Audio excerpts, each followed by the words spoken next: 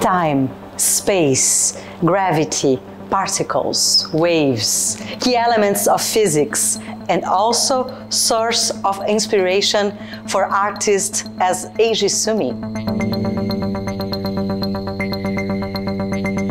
Something that fascinates me is like the wind or the water, something that the, the, the like I, I look at things and mesmerized with, uh, the view because I guess it's a part of the nature and uh, the, the, mystery of nature, like, like fires, for example, it just it's just constantly moving and it's develop different forms with different energies or things getting go inside, and I just like those the observation, I guess.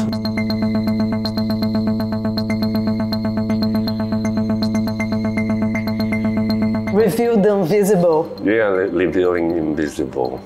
Yeah, that's actually quite a big topic for me.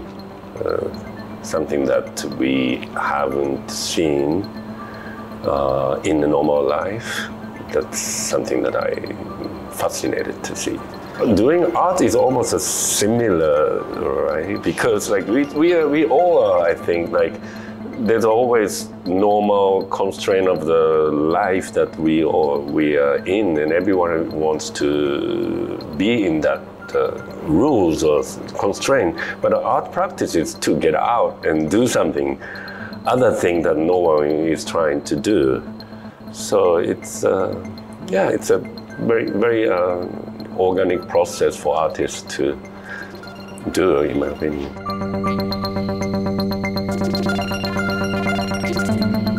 Let's delve into the fascinating sci-art world of Eiji Sumi, who creates artwork for the future.